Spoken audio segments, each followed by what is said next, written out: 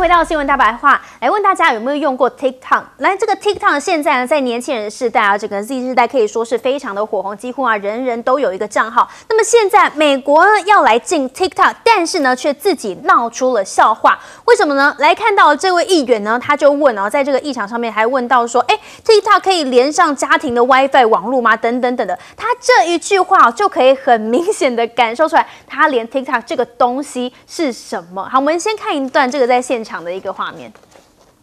Mr. Chu, does TikTok access the home Wi-Fi network? Only if the user turns on the Wi-Fi. I, am sorry, I may not understand the. So if I have a TikTok app on my phone and my phone is on my home Wi-Fi network, does TikTok access that network? It will have to to access the network to get connections to the internet, if, if that's the question. 好，可以看到两人对话这个问题一问出来，对方是连怎么回答都不清楚，因为这个问题实在是太诡异了。他连 TikTok 本身这个东西什么呢，自己也都没有搞懂。好我们看到，其实哦，在整个。拜登当选之后呢，基本上就是靠着 Z 世代的帮助嘛。那么现在白宫就很担心了。好，假设呢，你真的要进 TikTok 禁令的话呢，会不会就失去所有三十五岁以下的选民呢？尤其看到现在呢，TikTok 在美国每月的活跃用户呢是突破了一点五亿。如果呢是被禁的话，恐怕呢就会引起很大美国人的这个暴动了。然后看到呢，雷蒙多呢，他也夸张的说，在接受的访问的时候，他说。他认为，如果拜登呢真的是进了话，将永远失去所有三十五岁以下选民的支持。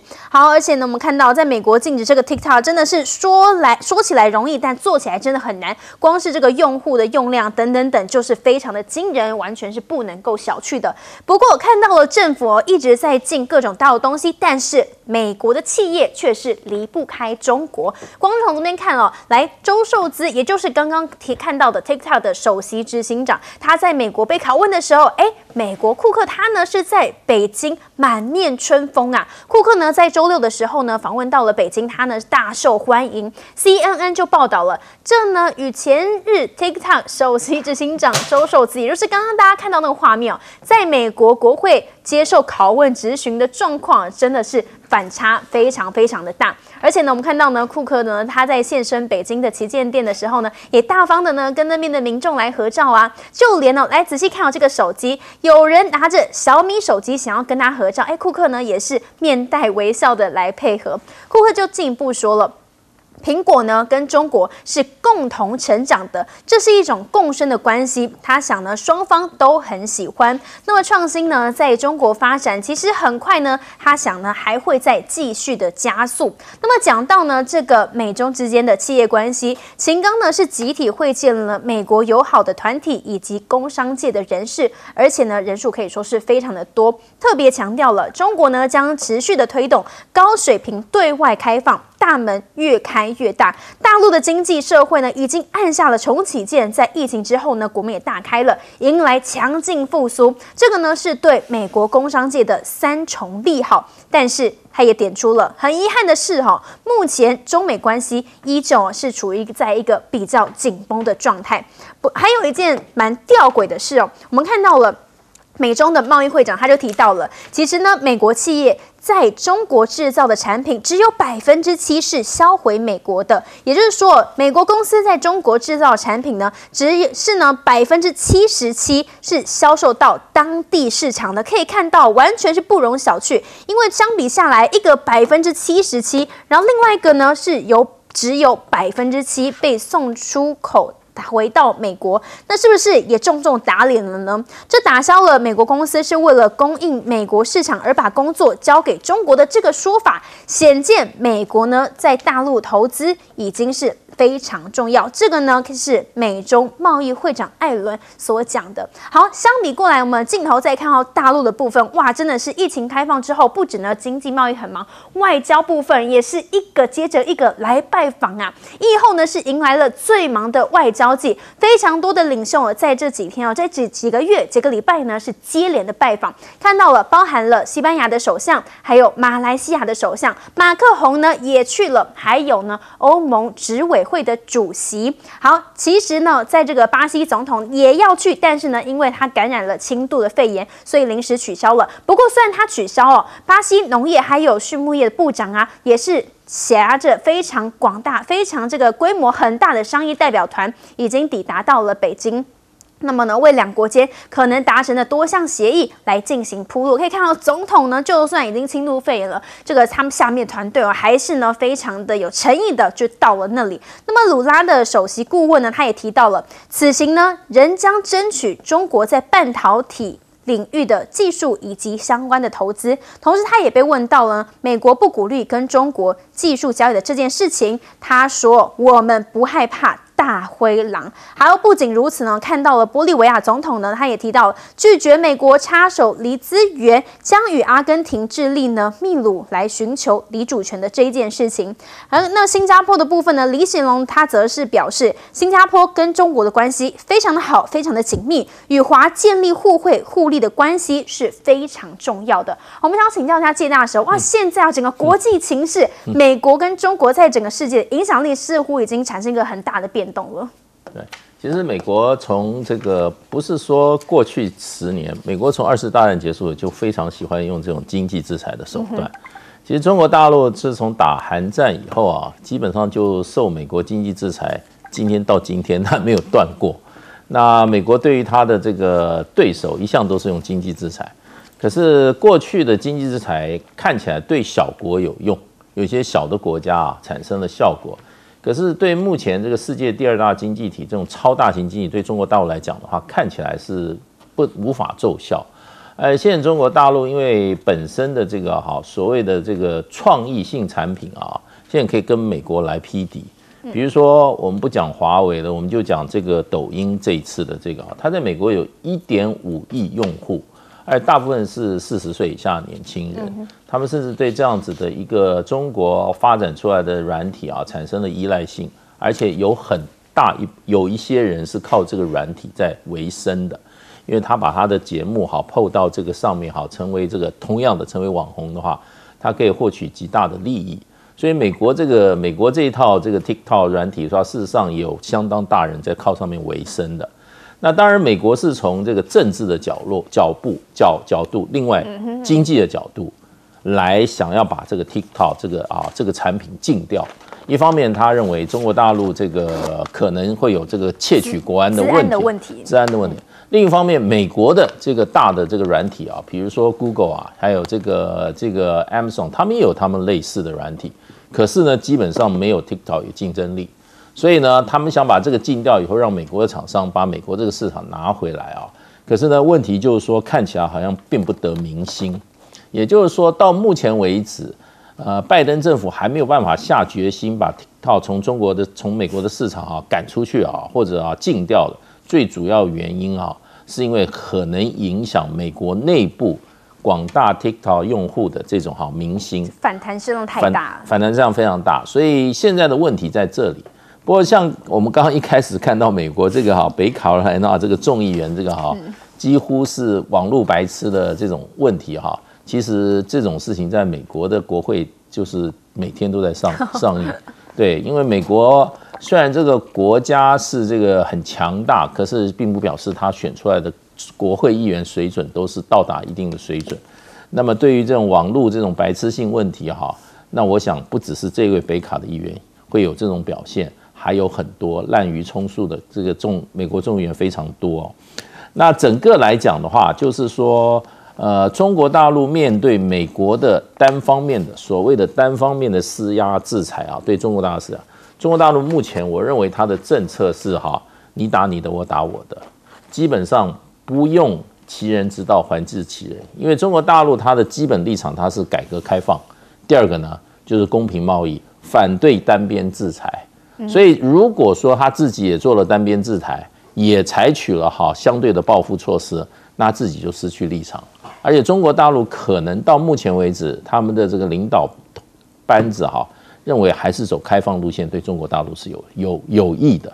那么，世界各国最好的产品、最好的人才、最好的公司都可以到中国来发展的话，也可以带动中国的发展。那美国现在是过去，我认为他就是说他已经到了一个自满的地步。他认为光靠美国的力量就可以变成世界的第一盟主，把别人都赶在美国市场外面。可能可是呢，光 TikTok 这个意思就可以看出来，如果美国持续的哈把人家主角在美国市场之外的话，可能长久以来受害的是美国。而且我想问一下汤教授，你怎么看哦？现在大陆是迎来了最忙的外交季哦，我们看到了各国的首领是一个接着一个拜访，哎，对，因为这件事情啊，其实从去年年底的这个呃 G 二零还有那个 APEC 就已经看得出来了。嗯哼，你像 G 二零那时候在那个印尼啊，在印尼举办，那我们看到的呢，都是这些相关的领导人呢。他是排队要跟习近平见面，习近平就在他的旅馆里面，他并没有跑到别人的旅馆去跟人家见面，而反过来都是人家跑到他的旅馆啊去跟他见面啊，所以从那个时候就开始，而且他还拒绝了几个地方的啊领导人，他说：“哎，你们还排不上啊，我没空。”所以从那个时候开始，譬如说日本，日本是说：“哎，我那个时候想跟你见啊，不行不行，你你到我那个 APEC 那个时候，因为 APEC 大概就是一个礼拜以后的事儿啊。”所以从那个时候，大家就可以看得出来，就是因为那个时候疫情已经接近尾声了啊，那所以说大家都这些国家呢，相关的国家呢，都希望能够能够进一步的发展啊，因为有一个有这种这个呃报复性的啊这种需求啊。那这一次呢，那当然了，那就更进一步了，因为那个时候还只是二十大之后，那现在呢是两会之后，而且呢，习近平又把这个整个的。这个中共的这个领导阶层啊，啊，就把它完全都稳固住了啊。那所以说呢，他们的这个发展势头啊，当然了，并不是说好像有比以前疫情以前那个时候来的那么样的好，可是也已经相当不错了啊。他自己定的大概是百分之五的这个 GDP 的增长率啊。那所以呢，那这些国家呢，你说要不要来沾光？那当然要嘛。那这个一方面他看到了啊，中方这里可能。可以有很大的利益。那另外一方面呢，他看到那美国在那边搞了半天，我跟着美国跑，好像我未蒙其利先受其害啊。你像比如说欧洲国家，你现在你到底对俄乌你要怎么弄？你还要继续拱火，你要继续提供武器，让他让自己都感觉到现在好像已经这个山穷水尽了。我不能，我这个不是无底洞啊。可是他那个是无底洞啊，他那个俄乌那个是无底洞啊。那所以说跟着美国跑，受不了了啊。所以跟着美国跑，你到底得到了什么？还有更重要的，中方现在的这个策略啊，他是用这个劝和促谈来抵制美国的。拱火加油，劝和促谈是什么？比如说你这个沙地跟这个伊朗啊，这个和解这个不得了啊！这个以前他们两个这个斗得斗得不可开交，结果把他们这个问题解决了啊，让他们建交了。现在中方更进一步努力什么呢？努力以色列跟巴勒斯坦。嗯，那这个也是很难解的，这个是千年的这个仇恨呐。那如果说这个东西也把它解开了啊，那这个中方在整个。这个所谓的非西方世界的这个地位，那就非同小可了。那所以我说，现在美国很担心，他这样一弄，中方这样一弄的话，那美国的地位可能会受到这个被被被歧视。啊，高层哥你怎么看啊？现在美国地位的确好像已经快要被大陆给超车了吗？呃，确实啊，我们看到就是说，这个中国啊，就是说之前因为受到疫情的影响呢，似乎它还采取一个比较封闭的一些作为啊。但是这个疫情一开放之后呢，好像中国整个的一个经济啊，以及对外的外交就活络起来了啊。那最主要是第一个，我觉得现在大家就是说，在这个疫情之后，以及俄乌战争之后，大家希望的还是能够解决这个国内的通膨问题，以及促进这个经济嘛。那看到中国大陆啊，它不管是内部的这个消费的一个能力慢慢也恢复了，那现在也希望就是说中国的观光客能够到各地方能够去呃来这个观光跟消费啊。中国已经连续开放了两波啊这个团体的到各地方去啊，大概从从亚洲到到这个欧洲地区以及非洲啊中东地区都有啊。我觉得这是大家呃非常希望能够看得到的啊。那第二个我们看到就是说这个。中国的这个它的一个国际影响力呢，整个国力呢也是在上升当中啊啊，我们看到它这个能够促成，刚刚也也提到了，就是说它能够促成沙特阿拉伯跟伊朗的这个和谈，我觉得大家事实上也很难想象，就是说为什么它能够达成这样的一个地步啊？现在我觉得确实就是说大家呢对中国的一个寄望，也就是说希望现在。俄乌战争呢，大大他能够再出力啊，尤其是这个中国对于这个呃俄罗斯还是有一定程度的这个影响力嘛啊。那对于乌克兰来讲的话，假设是说这个不管是停火或战后的一个。重建来说的话，都还是需要中国的呃这一方面的一个一一个资金啊。那我们看起来就说中国的这种大国的这个崛起，呃，这个影响力呢，确实是不断的在这个上升当中啊。尤其是我们看到欧洲的这个态度呢，也逐渐的一个改变啊。那不只是说过去我们看到这个去年德国总理肖兹去访问，现在呢是欧洲主要的这些领袖啊，包括法国现在也去了啊，包括一向就是说对于这个中国看起来。是好像采取一个比较啊，会有一些这个排斥的这个欧盟执委会主席的冯德莱恩，这次呢也要跟这个马克宏一起去啊，而且他事实上也讲，就是说，呃，对于中国呢，啊，我们只是不想过度的依赖而已，但是呢，我们绝对不能跟中国脱钩啊，啊，因为最近中国的市场呢还是非常的一个重要啊。那西班牙的首相桑杰斯也说嘛，他是马上变成七月份的轮值欧盟的轮值会的这个主席，他也是认为就是说，其实呃这个必须要了解中国对于这个俄乌战争的一个立场，以及了解中国它是一个经济大国，这种关系是必须要维持的。那么美国现在面临的危机呢，也不只是国际外交上面，自己的经济也碰上很大的难题。先进一段广告，马上回来。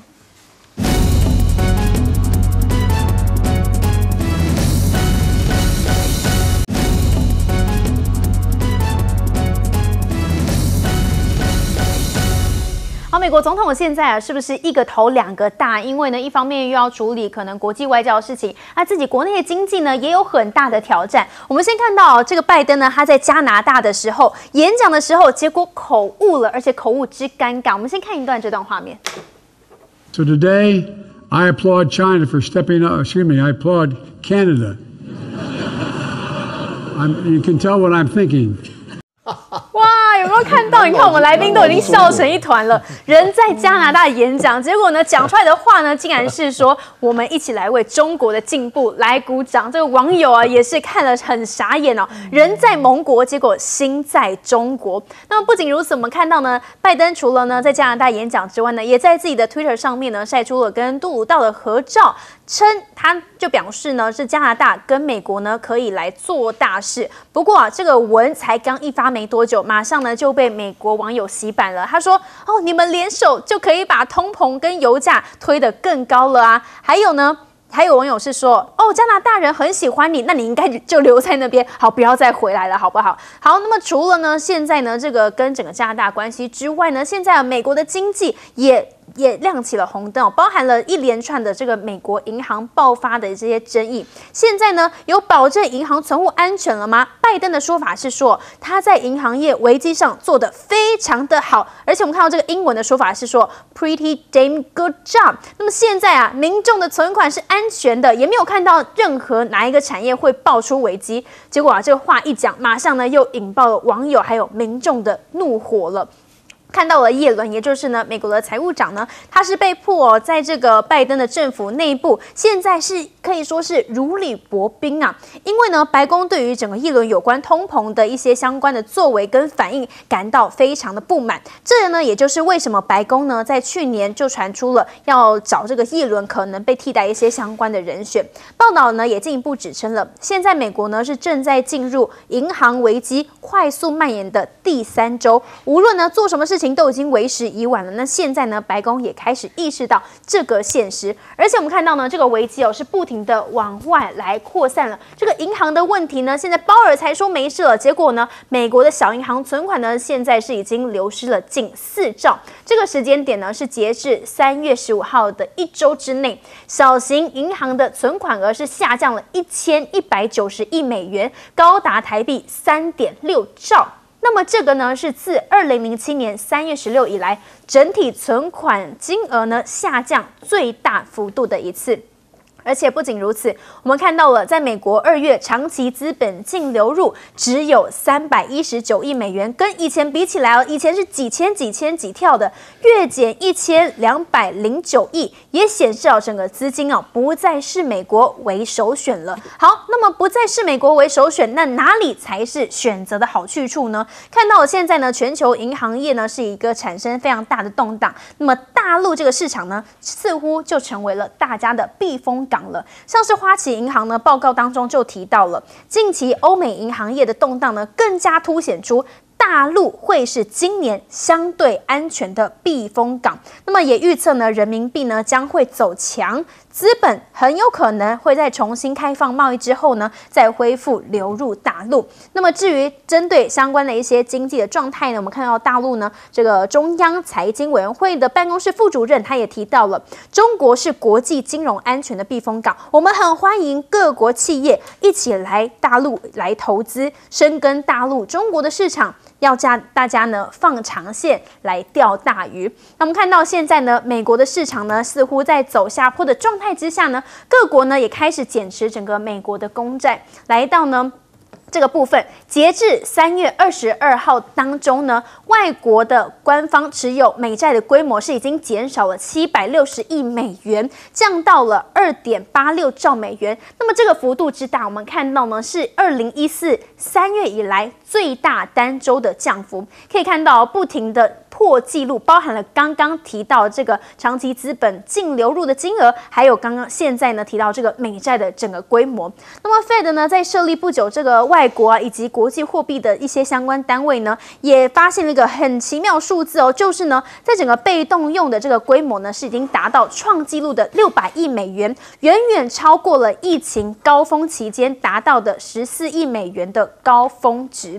好，尤其呢现在呢不仅是整个经济啊，整个银行业。哦弥漫的这个非常悲观的气氛哦，在大多数的美国人的生活当中，也认为哦，也不认为这个儿孙生活在美国的日子可以过得更好，因为调查就显示了，有八成的受访者的美国民众表示，美国经济啊非常的不好，或者是很差。那被问到下一代的生活是否会比自己这辈更好？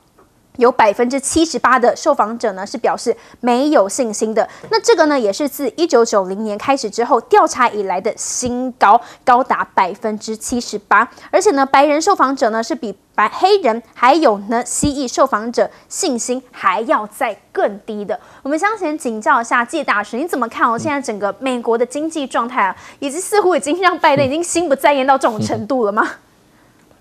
拜登如果再继续这样口误下去，我觉得他可以不要选了。他刚口误已经，刚看大家三位来宾已经笑成一团。我觉得太好笑了，真的，我不应该嘲笑他。不过，真的，呃，不要太勉强了。做美国总统，这个不能常常这样失误的。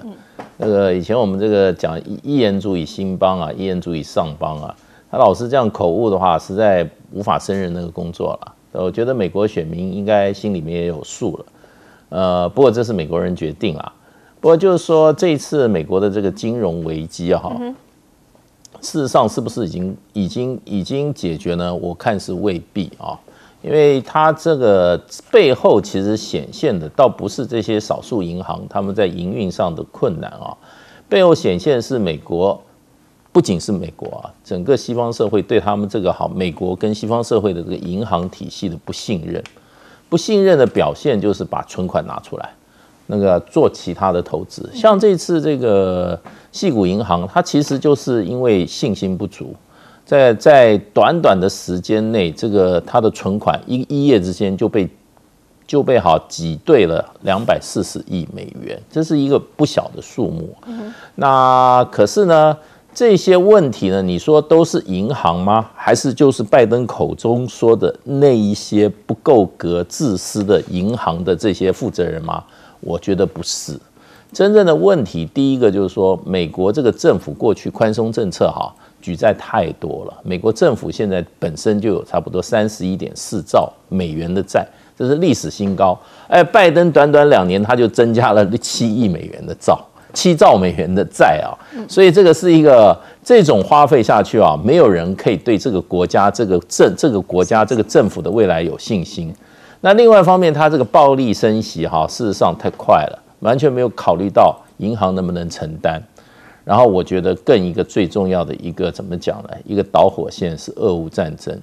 俄乌战争，美国人把银行金融业最需要的一个信任感啊，把它哈自己把它严重的伤害，因为美国会公然去没收一个国家人民跟政府存在他们银行体系的资产，那不论任何人原因。他就把这些甚至私人的资产也已没收。你想想看，美国是一个开放的金融体系，有多少外国人把钱存在美国的这个哈金融体系里面？有多少人在美国有实体资产？如果说美国的政府可以只要找到一个政治原因，他就可以把你的资产没收，让你的财产归零的话，你不是美国人，你会不会想到说要把这个钱移出去？所以现在这个问题就变成，就是说，整个是不仅是美国的存款户，全世界存款户基本上都面临一个对美国所领导的西方国家的整个金融体系啊的一个不信任。那这个不信任是美国自己造成的。我说长期累积下来这些错误的政策，那所以事实上我们都知道，我们现在听了很多，现在全世界资产正在移移转呐。抽出来的钱不是不是立刻可以找到这些 parking 的地方啊，所以中国大陆的中央财经委员会的副主任才会讲啊，是因为现在听说很多资金都转进了香港，转进了新加坡，往亚洲跑，这是一个事实。嗯，唐教授你怎么看哦？现在哦，全球银行业动荡，结果大陆哎好像成了避风港哈。嗯哼，这个情况我想会越来越明显啊，因为。美国的这几个重要的做法，我觉得它都出现了问题。第一个是美元，第二个是美军，第三个是美债啊。因为在二战以后呢，当然美国是唯一超强啊，那所以说它这个美元呢，它可以说是全世界最重要的一个通货，尤其在后来又变成石油美元等等，到目前为止啊。那可是呢，就是因为美元的这个呃角色呢，现在经常。他自己或者说是受到外界的这个影响呢，使得他有非常明显的这个下降或者说是减缩的这种情况。譬如说这个俄乌，你现在你说好啊，不准俄罗斯啊用美元，好了，那这个当然你是自己规定的，那所以说使得美元就开始啊，现在它的这种普遍性就开始降低了。那你降低了以后呢？那刚好从另外一个角度看，那人民币的这个角色呢，就又提高了啊。那另外一个就是美军，美军呢现在在全球呢，它有一两百个这个基地啊，它这个基地呢，这个就都有非常重要的这个作用。可是呢，你像譬如说现在你在中东，你从这个阿富汗以后呢，你在中东的这个角色呢，现在越来越下降了啊。那所以就使得美国的它的这个。在中东地区的这个影响力啊，现在也是看到啊下降的这个趋势非常的明显。另外就是一个美债，那美元跟美军呢，它是配合在一起的啊。你美元如果说你有美军去帮你把这些地区啊，把你搞得很危险，那你这些地区的国家的钱呢，就全部跑到美国来了。所以说，它这个东西是跟美国还有那个跟它那个军工企业都是非常紧密联系在一起的。你不但你可以可以卖武器出去，同时呢，你让那些国家感到很危险的话，那些大大的财主呢，他全部把钱搬到美国，搬到美国跑哪去？就跑到美债去了，哦，所以说这个美元、美金、美债这三样东西呢，它是啊循环的。而在这种情况下，如果说哪一个点被突破了，或者说哪一根支柱被这个倒塌了，那美国的这个问题是非常非常严重的。现在我们看到的是这个美债。美债我们刚刚讨论到了，是中方这里在在减在减少，而中中方减少当然也受到俄乌的影响了。可是你日本也在减少啊，它也在减持这个美债，而且减持的美债比中方的还要多。很多国家都那这个东西就很奇怪了。那你那这个东西，日本没有这个俄乌的这种问题啊。那所以说呢，我觉得现在这个西方国家。现在他们慢慢慢慢都了解了。如果说真的跟着美国跑的话，那可能真的是未蒙其利，先受其害。好我们高层哥你怎么看？你看拜登到现在还在心不在焉。呃，拜登，我觉得他事实上来讲，似乎好像有一种这个过度的乐天派的一个 一个状况啊。那事实上来讲，目前看起来就是美国内政外交呢都出现了问题啊，尤其是我们看到这个内部的这个银行的这样的一些危机的一个状况呢，似乎还没有完全的呃一个解除嘛。那事实上也影响到这个欧洲地区啊的这个金融。所以为什么最近大家就说急忙把美债卖了，那就是希望能够换成美元来，必须要来支援这样的一个。呃，它的一个整个金融方面的呃一个危机啊，那在国际上的一个影响力呢，看起来说中国的这个影响力呢，事实上是很快的在上升当中啊。虽然拜登讲就是说他有很多的呃一些盟友啊，但是这些盟友哈看起来纷纷事实上也都是跟中国呢也保持着密切的一个接触嘛。譬如说他在这个印太地区所结盟的这些国家。包括澳洲，澳洲现在跟美国的关系呢，事实上，呃，跟中国的关系事实上也在改善当中。那美国当然比较依靠的是欧盟，但是我们看到欧盟这些领导国家事实上也都到这个中国大陆去做。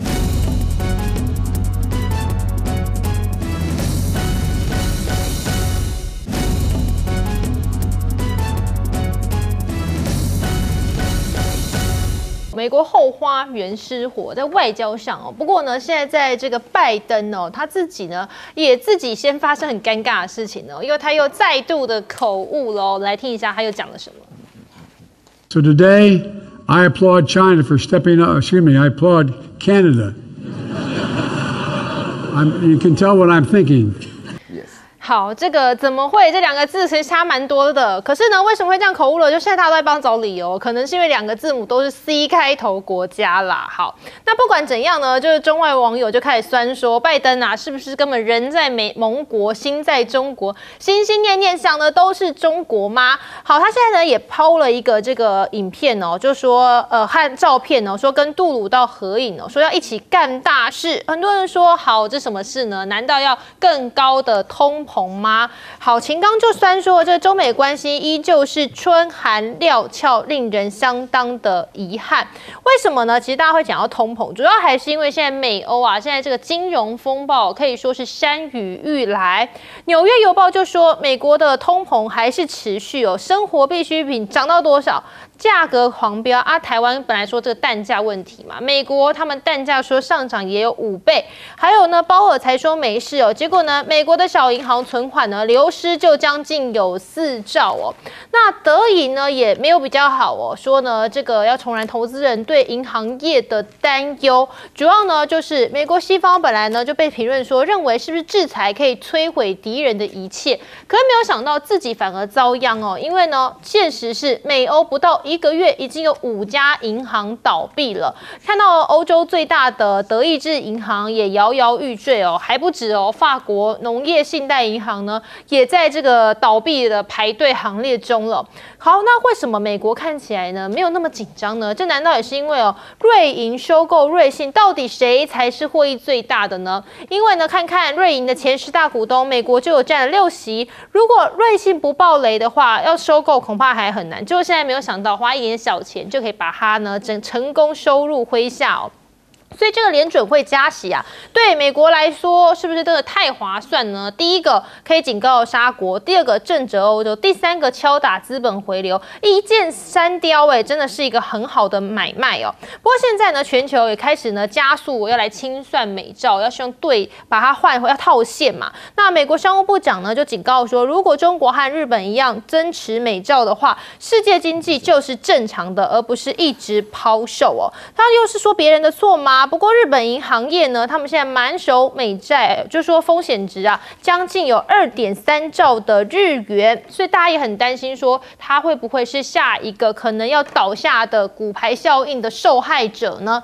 而且呢，这个危机有在金融风这个整个金融风暴，银行业受害多惨呢？说是哦，银行股啊暴跌了百分之九十，各国的央行现在也在赶快减持美债，这是九年来最快速减持美债一次哦。F E D 甚至。说，说从三月二十二号往前推一周，全球的央行减持的美债呢，就从七百六十亿美元降至了二点八六兆哦。很多人当然现在心态就是觉得说，我要赶快套现，这样感觉会比较安全一些。所以呢，FED 也新成立了国际货币回购哦，说协议机制啊是被取用六百亿美元，远超过疫情的这个高峰哦，十四亿美元。那么呢，美债呢是三十一点六兆美元，在全球央行持仓量现在只剩下百分之九点二二，而十多年前的峰值可以达到百分之三十，显见什么呢？这个美债呢，他们很多人认为已经是不安全了。好，我们不过呢就说看到另外一个场景哦，是这个库克哦，他访问中国大陆的时候哦，这个是号称中国达沃斯在北京市昨天开幕了，那么包含呢这个苹果、库克啊、三星等等呢都在。是座上宾哦，就就说，哎，在里面呢，他看起来非常的轻松哦。因为彭博怎么说呢？就说中国大陆是加快加快来推进先进制造业要自立自强。这强度是什么呢？美中的贸易会长就提到说，美企其实他们在中国大陆制造的产品哦，有百分之七是销回美国的。可是你看看哦，相比而言呢，其他呢有更多其实是销往中国大陆市场的。所以就说美国商务部呢的数据表就。显示对中国的出口啊，保证有可以保证一百万的美国人，他们呢，因此呢，可能这个工作机会是比较有保障的。先请教苑老师，怎么看哦？说现在啊，这个拜登哦又口误，当然大家觉得很尴尬啦。不过呢，这个中美关系哦，是不是现在还是有点紧张，春寒料峭情况？啊，中美关系现在不是有点紧张啊，是是这个秦刚讲话都客气了，中美关系现在尖锐对立啊。这个对立的话呢，其实可以看得出来啊。呃，军事上的话呢，完全不沟通啊。然后外交上的话呢，不不不接受访问呢。然后在商业上来讲的话，大陆大举的抛债啊，这里面的话呢，已经说明了一个很详细的一个重点。在这种情况下的话呢，因为拜登本身呢，他这个不是单纯的口误而已啊。事实上，他跑到加拿大去的时候，加拿大人基本上对杜鲁道是非常反感的。啊就大家要了解，要看新闻，要看整体。那拜登确实给他加持，加持的结果讲错话了。然后呢，居居然的话。那居然讲到说是满脑子都是中国，事实上加拿大是跟着美国跑，要加拿大反中的理由也是跟着美国跑，所以这个的话呢，感觉上是情况是非常严重的。为什么会这么严重呢？因为美国现在刚好整个外交政策对于中国的做法是矛盾的，美国一方面是想尽办法造谣生事，制造麻烦。啊，然后美国的那个白宫发言人科尔比又讲什么？中国的和平政策不会有中国对于世界讲究和平政策不会有具体的结果。中国想要针对于俄乌之间的冲突提出来的和平政策不会有具体的结果什么的，讲唱衰一大堆。然后呢？眼巴巴的看到中国本身在外交实力上，一个是拉拢这个沙特跟这个沙乌地跟伊朗，然后又是能够针对俄乌冲突提出和平方案。另外看到了这个习近平跟普京两个人，哇不得了，互称为亲爱的朋友啊！我自己长这么大还没见过外交关系有两国领袖这么好这么密切啊！而且他们都是非常重要的国家，他们联合国安理会的常任理事国。那你现在这种情况下的话呢？目前为止发展，包含雷默多在内，包含耶伦在内，他们都不止一次讲说啊，我们非常想到中国，想去干嘛？要中国买美债？为什么要买美债？我告诉大家一个观念。美债原来是全世界所有商业银行里面最稳定的资产。美国的银行百分之六十六买美债，剩下的百分之三十几是世界各国在买，因为这是稳赚不赔。就像一个稳定的国家，像中国如果肯发债，一定马上卖完。为什么？它的信用好。美国原来是信用很好的国家，这个一叶知秋啊，可以看得出来。The winter is coming，这个大家要了解啊。目前为止，美国本身发生这种情况，我坦白讲啊，从这个西谷银行的倒闭。美国很成功的把他们这个银行的信用危机转嫁到欧洲去，一个是瑞士信贷是又以国家为名，什么叫做德意志银行 Deutsche Bank？那个 Deutsche 德国的英文名，德国的德文名字就叫 Deutschland 啊，就是说是德国，他们就是瑞士也好，德国也好，都是。以自己的名称来取名这个银行，然后这个银行现在被举对的话了，我相信啊，下个礼拜再过七天，大家就看出来答案了。嗯，这个全世界系统性的风暴会席卷全球，但是唯一的让大家不得不怀疑美国的用心的原因，就是因为这一次整个金融风暴里面，原来是美国的银行接二连三倒闭的情况下，突然停住了。变成欧洲的重要银行倒闭了，那这样子的话呢，所产生的联动的效应影响是非常非常大的。瑞士本身赔了三件事情：第一个，瑞士自己银行被挤兑；第二个，这个瑞士信贷一百六十七年的历史结束了；第三个，在听美国话的怂恿之下，瑞士把自己永久中立国。我整个成长的过程，我在欧洲住了很久，所有的有钱人，不管长什么样的，都把钱放在瑞士为荣啊。不管这个钱是黑钱、白钱、黄钱、绿钱都无所谓，反正这个钱放在瑞士就是高枕无忧。现在这个情况完全改变了，请问大家，大家扪心自问，欧洲人现在他们的钱出现了这个问题，他们这个账算在谁的头上？简单一句话，美国的美联会、美联准，他心里非常明白，与其自己花钱来收购自己倒闭的银行，不如说把这个金融危机的外溢效果推展到欧洲国家去。这样子的话呢，美国不用花钱，让让其他的国家自然而然跟美国连成一气，来面对这一场系统性的金融风暴。嗯，将军怎么看？说这个，当然，美国现在是不是在盘算一箭双雕、三雕这样的好买卖？我认为这个跟乌克兰战争也有很密切的关系。乌克兰战争大家知道，就大家都要经来经济制裁俄罗斯，经济制裁俄罗斯，这个只要是经济制裁啊，一定是杀敌八百自损一千，或者是杀敌一千自损八百，你看要怎么样去看，自己一定会受到影响。双面刃嘛，这双面刃伤到敌也伤到己，会有这个状况。那今天这个美国在这个状况之下，美国美债一直很高，美国现美国这个美债，美国这个国国债。国债是有三十三十一将近三十二兆嘛？你看三十一点六兆，将近三十二兆国债，而且中国大陆正在抛售美债，那美美债的压力更大了，它的利率要提升，一定要提升，要应变这个，他要把利率提，或者从贴现率也提升，来抑制这个这个外债，这个外债哈美债的这种这种大家提现，它会这个状况。那这样子状况之下的话，会造成美国经济上会会受影响。第二个，美国的制造业一直在下滑。嗯，美国这从原来占全世界的百分之四的的制造业，现在变成百分之十七点四。你看制造业，制造业的整个市场被中国大陆拿去了。那制造业是不是根本啊？是底啊？你的底底薄弱了。你应该从十七点四上升到十八、十九、二十，希望能够跟中国大陆在制造业上面分庭抗礼。现在中国大陆制造业占全世界的百分之二十九，将近百分之超过百分之三十。你这样子的话，换句话说，美国会。美国在这个地方已经相形失色，那这样的话，它的美债的情况会更严重啊。我们台湾目今天的外汇存底是五千五百八十亿，但是不要忘了，我们也有美债啊，我们有持有美债，我们持有美债两千零五十亿美元抓在手上。那现在大家都要提现呢，那但是我这是我们的本，我们台湾这个时候不会不会抛售美债，把这统统把它提现出来。那在这个状况之下，现在两个美债的大国，一个中国大陆，一个日本，日本现在保留，但是问题是中国大陆开始也要换现。也要把美债把它抛售美债，变成这个状况，会造成大家都抛售美债。中国大陆是美持有美债最多的，外汇存底也最多了，三兆嘛。那但是持有美债八千多亿，本来也是一兆，现在剩下八千多亿。他说还要继续来提现，把这个美债继续把把它抵消下去，变成对美国来说雪上加霜。你看现在美国的通货膨胀也很严重啊，我们的美国的鸡蛋也涨得很凶。对对，一倍嘛，对，这样很凶，大概一斤鸡蛋大概两百多块哦，台换算成台币，每个人都养，都是受不了了。你看，换句话他的问题啊，他的问题啊，他此起彼落，变成各种状况都出现了。那这个状况，他换下他一定要先自保，自保。我认为到现在目前为止啊，最挺的还是日本。日本到现在为止，他对持有的美债，他没有去换现，去抽银根。他如果一抽紧银根的话，中国大陆抽紧银根。两个美债大国啊，一个中国大陆，一个日本。日本如果抽紧银根的话，那美国就美国经济的金融会更哎，金融危机啊，变成金融风暴，会造成美国整个制造业还有它国力，因为因为经济力是最大的支撑，整个都会受影响。嗯，斌哥怎么看呢？我说这个，当然这库克他到中国大陆，但很多人说他满面春风，是不是因为其实中国大陆其实这个对整个产业来讲还是非常重要。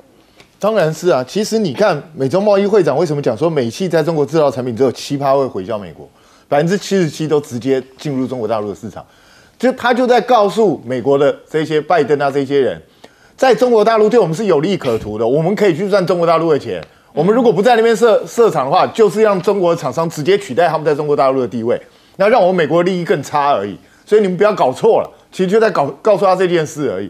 那对库克来讲也是一样，中国大陆现在就是全世界人口最多的国家之一啊，我当然要去开拓这里的市场啊。那现在中国大陆对库克也蛮礼遇的，所以在这种状况下，他能够保持他中国大陆的市场，他就能够保持在世界上领先优势。他为什么不高兴？那实际上也不只是库克高兴啊，马克龙不是一直想要去中国大陆，然后欧欧盟的欧盟的一堆国家都要去，甚至包括他们的他们的那个秘书长也要去，为为什么？就是因为中国大陆对他们来讲非常重要嘛。所以不管你美国再怎么去到处宣传中国大陆不行，这些国家是看得清楚真实的利益在什么地方嘛。那我我是觉得美国犯了一个很奇怪的思维，就是认为说你靠制裁就可以让人家倒挂挂掉。世界上有哪个国家是因为被人家制裁垮掉？一个都没有。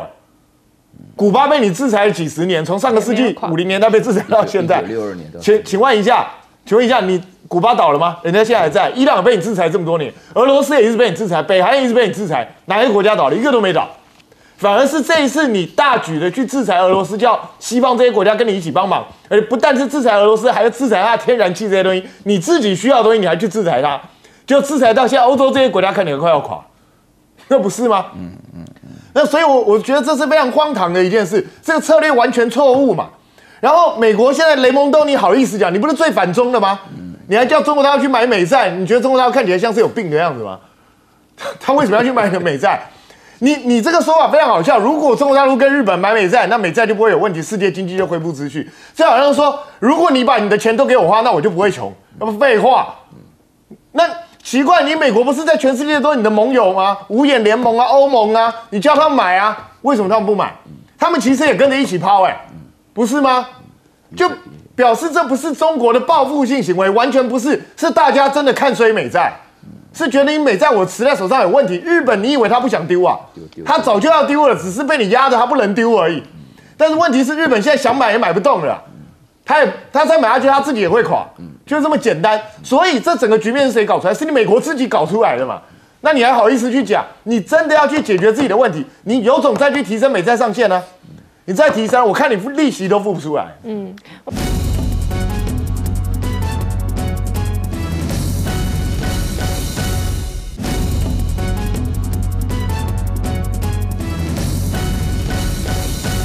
我们看到，其实中美的角力哦，另外呢，还有一个部分哦，其实呢，除了刚刚讲的这个经贸上呢，还有就是在这个外交上哦。现在呢，北京哦，这个主场外交是连续的要来举行哦。当然，原本说有一个是三月二十六号巴西总统的鲁拉，那这个是目前先暂缓。但是呢，三十一号会跟西班牙总理，四月四号呢，则是跟这个马克宏以及欧盟的主席。那这当然是习普会后哦，中国呢开始要拉起这个要突。突破美国围堵，有一些主场主场外交，接下来呢，他们还会持续进行的。不过呢，这个皮尤研究蛮有趣的，他就说呢，欧洲年轻一代人其实他们对中国和美国的态度呢，都是比较批评的，因为呢，他们呢，首先对于美国认为自己是世界警察角色，还有中国大陆见真的经济体量呢，他们是感到有压力、有担忧的。不过呢，新加坡总理李显龙呢，最新的是他计划在三月二十七要访华，先到。到广州，再去海南，要出席博鳌亚洲论坛哦。那当然呢，新加坡在整个东西非常的重要嘛，所以呢，他也强调说，中心关心是非常的好，也支持“一带一路”的倡议。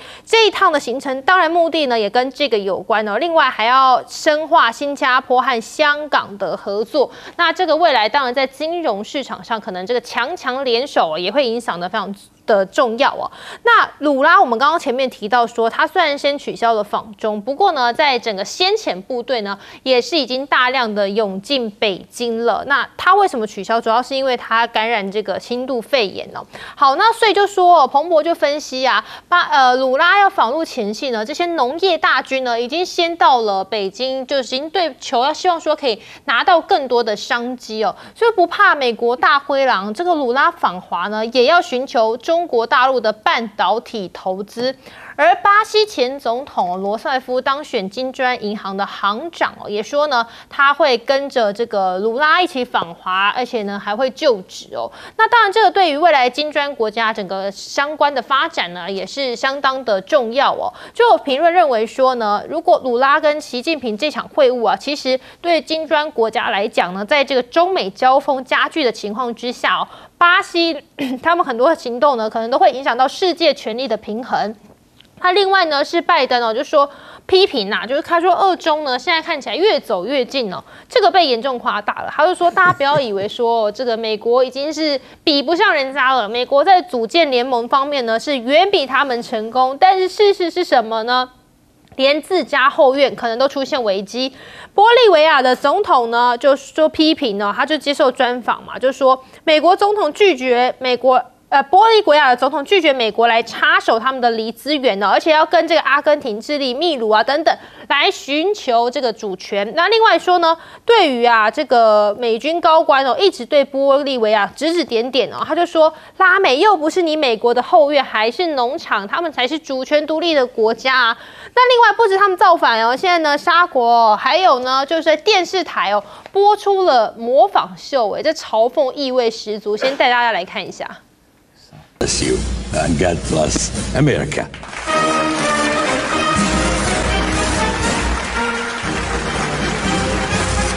好，这画面哦，这个大家这是刻意的，他要模仿呢，就是拜登哦。当初呢，他不是大家应该印象也很深刻，是他要转身然后握手，就发现哎后面没人啊，大家很担心说拜登是不是这个身体有些状况嘛？另外这一段呢也是模仿哦，说这个 拜登在要登机的时候就突然就跌跤哦，滑倒啊，大家都很担心说，哎，他第一个身体有没有状况？第二个是。怎么会发生这样的事情呢？就呢这样子的画面呢，就直接的秀在这个沙国的电视，当做一个模仿秀、脱口秀来嘲讽哦。所以大家可以显见说，现在可能大家对于拜登呢这个政府的态度哦。好，另外呢是大家现在很担心的是这个传出说英国打算要提供给乌克兰所谓的平铀弹哦。普京就呛呛呛瞎说，如果真的话呢，他也会以牙还牙，勿忘教训。先大家来看到。因为呢，这个平铀弹呢，这个萨塞尔维亚的总统呢就非常生气。为什么呢？因为在一九九九年的时候，三月二十四号有一个北约军队哦，在没有经过联合国授权的情况之下呢，就侵略主权国家南斯拉夫，而且进行的是七十八天的轰炸。当时就用了这个东西。我们先来看一下它到底多生气。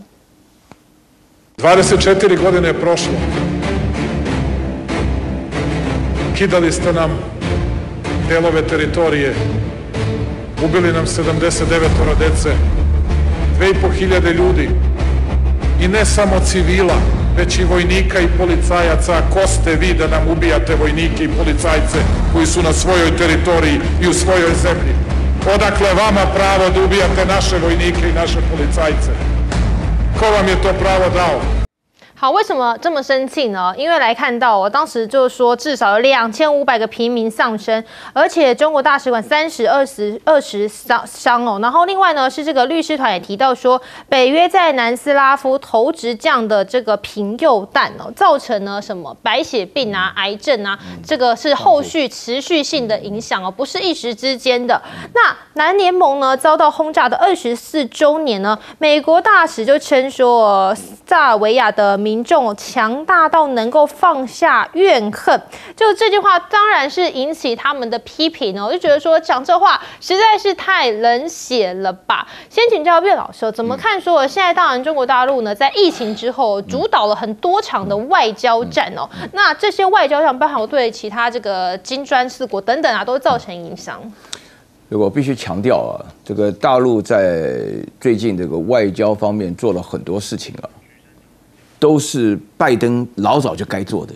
嗯，拜登是我所知道见过最糊涂的、最最没有能力的美国总统啊！为什么呢？因为中国做的事情啊，礼尚往来这件事情，这个道理他不懂吗？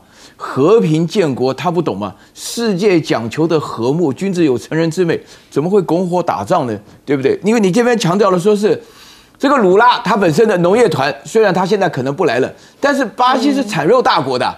他们基本上的话呢，肉这个鲁拉上来跟这个跟他的这个这个这个跟他一起访华的这个罗塞夫，他们两个都是比较偏左的。鲁拉重新选回那个巴西总统，那个取代了原来的巴索纳罗的时候，鲁拉上台第一件事哭了，他说：“巴西这么大的国家，居然有人饿死啊！”开玩笑，因为鲁拉这边强调，因为巴西的牛肉，我们在台湾有个名菜叫巴西窑烤，全部吃肉的。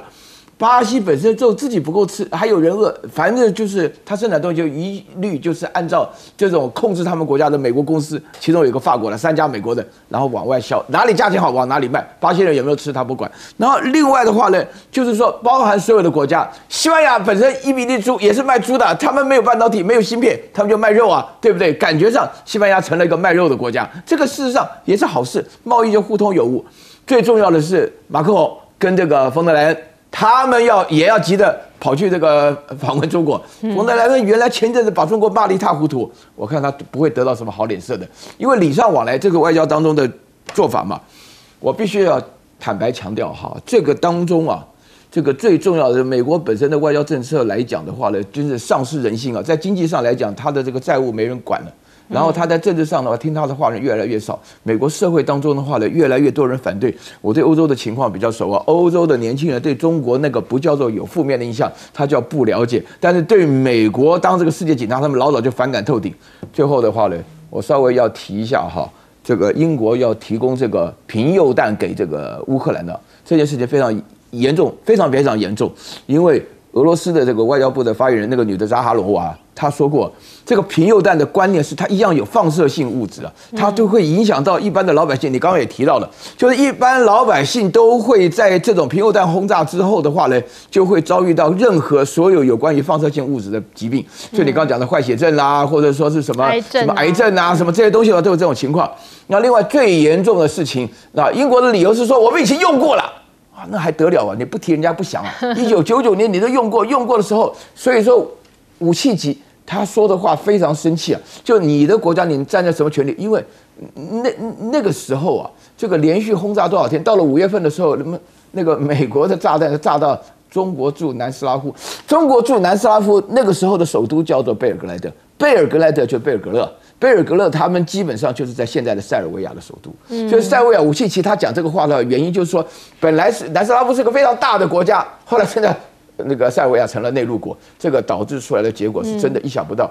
我讲这种仇恨呢是不会忘掉的，怎么可能忘掉？还是美国大使来讲，对不对？我都不会讲，你会忘掉了？那美国大使讲更生气啊，对不对？嗯，这当然，这未来对可能很多的国家影响非常大。我们休息一下，马上回来。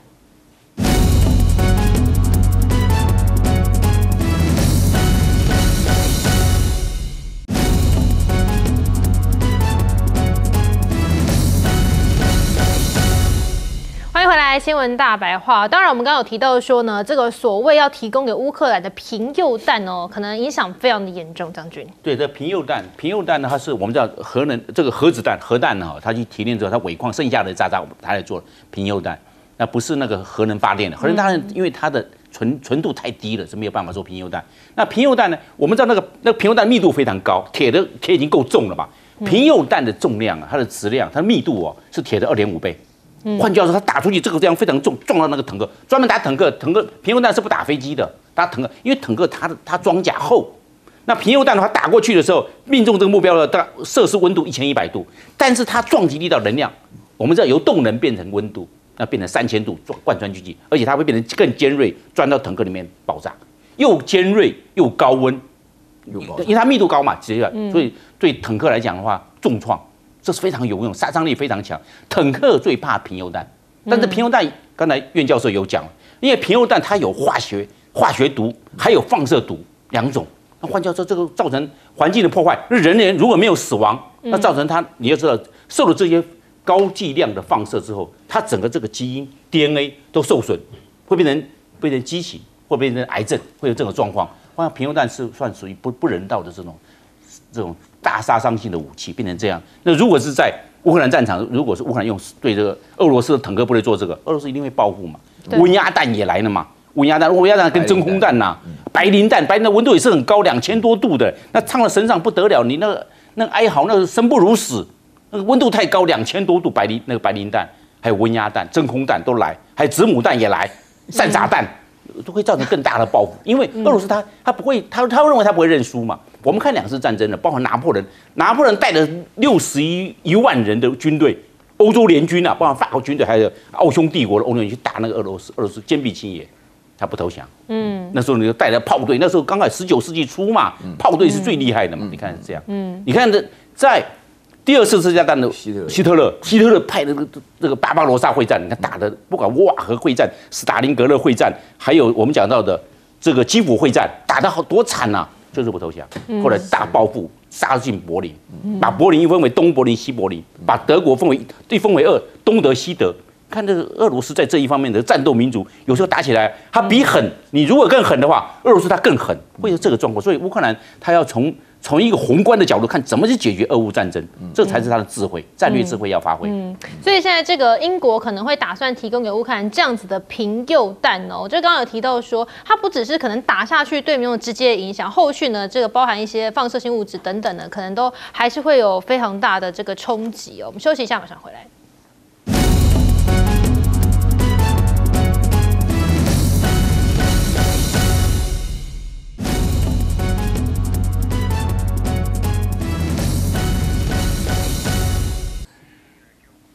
回来，新闻大白话。我们接下来看到呢，这个沙国电视台啊，这个嘲讽意味十足、哦，斌哥。其实沙国过去跟美国是非常友善的国家，那他们居然会去做出这样的东西，可见得沙国现在跟美国之间的关系到了什么样的一个地步了。所以这个这个其实让我很讶异，因为说真的，以我的年龄哦，从我生下来到这个世界上一直看到现在，我从来没有看到美国在全世界的地位如此衰落过。嗯，我说真的，我从来没有没有想过会有这一对天。，我也没想过美国会变成这样的一个国家，这让人家觉得非常非常压抑。美国不管是在中南美洲的影响力也好，在非洲的影响力也好，甚至在整个欧亚大陆的影响力也好，都是呈现非常明显的衰退，而且他自己的经济实力也正在衰退，甚至他的军事力量都在衰退。所以我觉得这这个对全世界来讲都是一个变革，一个警讯。我觉得大家都要去好好思考。那可是问题是，我觉得人类最基本的价值就是我们都不应该期待战争，所以我们都应该尽力去阻止战争。结果英国你现在不不用尽力量去阻止乌俄战争，反而是要把平诱弹这一种。我讲实在话，英国自己承认说他之前好几次战争也有用，对啊，为什么你知道？他自己的士兵，包括美国的士兵，其实都在跟政府打官司，因为他们认为他们被这些平诱弹、平用抓甲，害得他们得白血病，害得他们得癌症。嗯，那你们自己国家的士兵都在抗议这种东西，那至少以前用平诱弹的国家从来不在自己的国土